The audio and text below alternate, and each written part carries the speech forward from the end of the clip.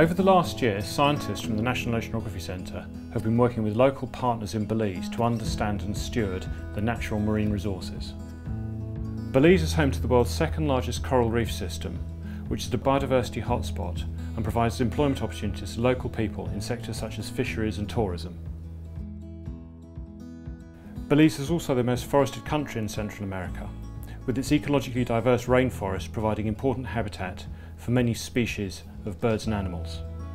However, we're observing a transition to a, more agricultural system with species such as palm oil, banana, sugarcane and other cash crops becoming increasingly important in the local economy.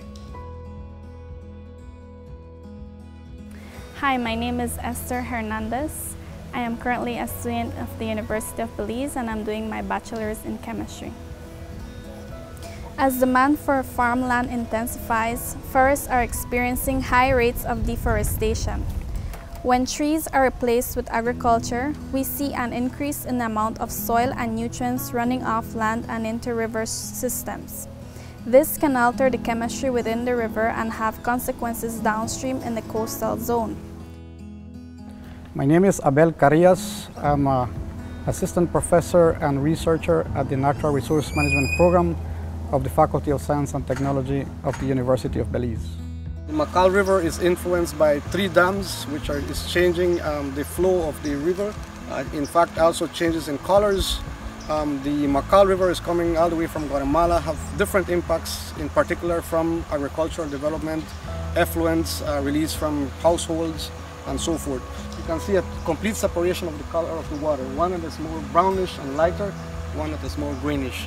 So we want to see you know, what we are picking up in terms of the quality of the water.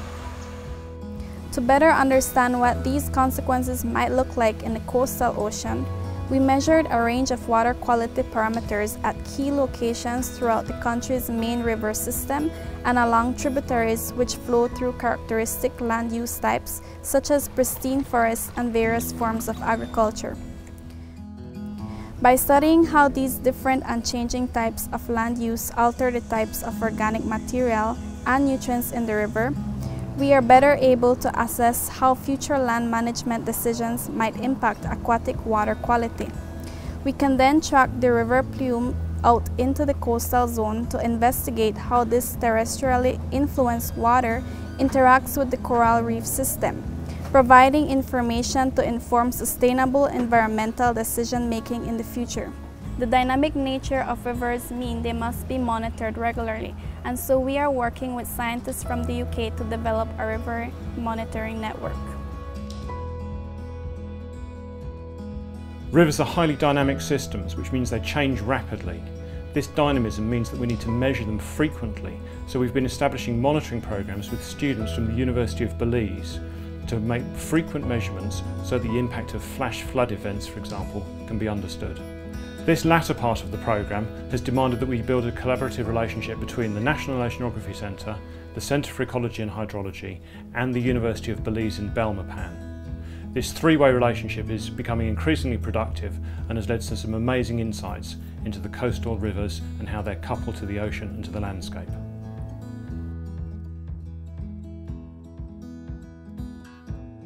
Uh, my name is Michael Jenkins. I am from the Belize Port Authority um, my responsibilities here at the Belize Port Authority is um, navigational safety and ISPS port security control.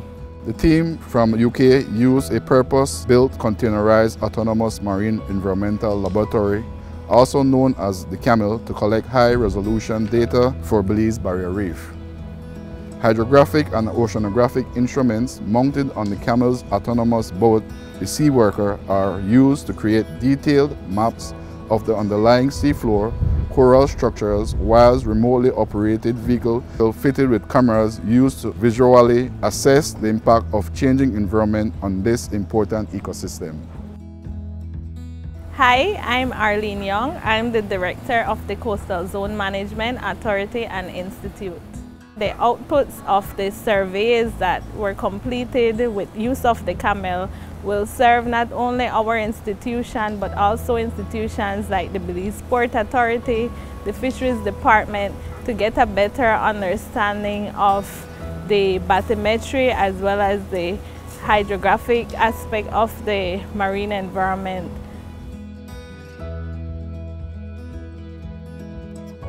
My name is Joaquin Urbina.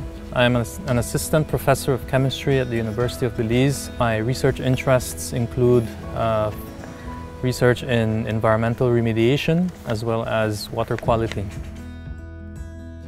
Seagrass meadows are powerful habitat builders, stabilizing the seafloor with their intricate root systems and slowing down waves with their leaves.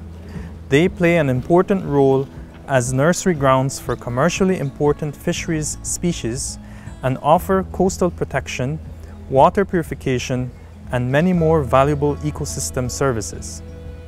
Seagrass meadows can also be intense sites of carbon burial and storage, making them powerful natural carbon sinks. The carbon stored within these systems is called blue carbon, and quantifying it will help to inform local management decisions.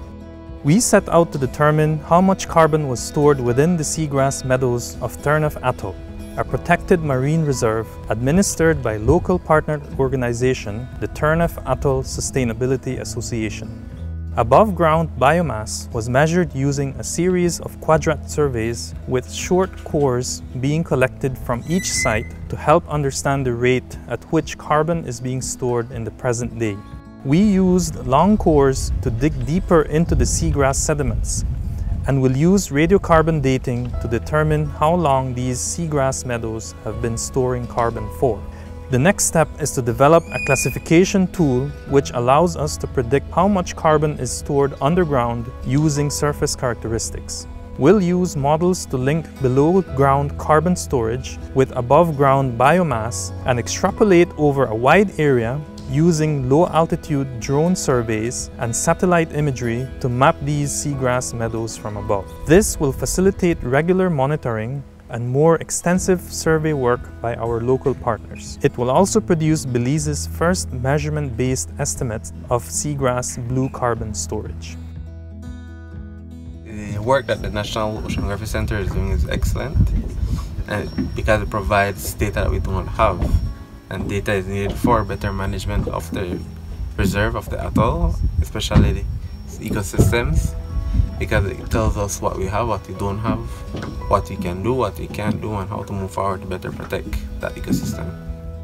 It's important for us to track the river plume as it enters into the coastal zone so that we can have a better understanding of how land use impacts on our marine ecosystems or habitats and the species that are um, within the coastal zone. Having this information is also important because in order to develop appropriate responses and management interventions, the evidence is, is needed. Um, without the evidence, we will not be able to be effective in our interventions and get the desired outcomes for people and the environment. We've been working with our Belizean colleagues now for about a year. People coming from the Belize to the UK, going from the UK to Belize. We've started student projects, we've undertaken joint field work, and our collaboration is now maturing to the point where the, the monitoring programs run by the students within the University of Belize are ongoing. We're seeing the first results coming through to the point where we can write scientific papers about them. And the next step is for our information to start informing policy and the, the regulations that Belize is implementing to protect its own coastal environment.